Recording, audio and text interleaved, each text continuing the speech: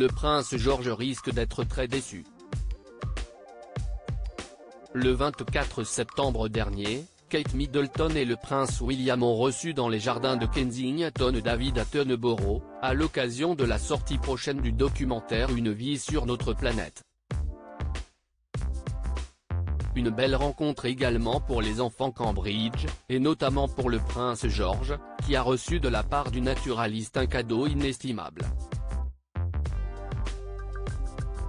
Dont il doit désormais se séparer. Si est en 1960 que David Attenborough a trouvé sur l'île de Malte une dent de requin d'une espère désormais disparue datant de plusieurs milliers d'années.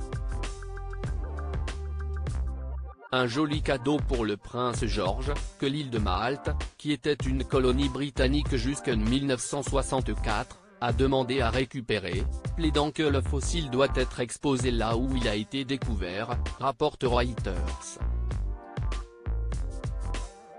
José Herrera, le ministre de la Culture de Malte, a déjà promis de tout faire pour récupérer l'objet. Certains objets sont importants pour le patrimoine naturel maltais et qui se sont retrouvés à l'étranger et méritent d'être récupérés, a-t-il annoncé. Le prince George, véritable féru de dinosaures un coup dur pour le prince George, qui se faisait une joie d'avoir reçu cette dent de mégalodon, une espèce de requin qui pouvait atteindre jusqu'à 16 mètres de long. Nous accordons à juste titre beaucoup d'attention aux artefacts historiques et artistiques. Cependant, ce n'est pas toujours le cas avec notre histoire naturelle.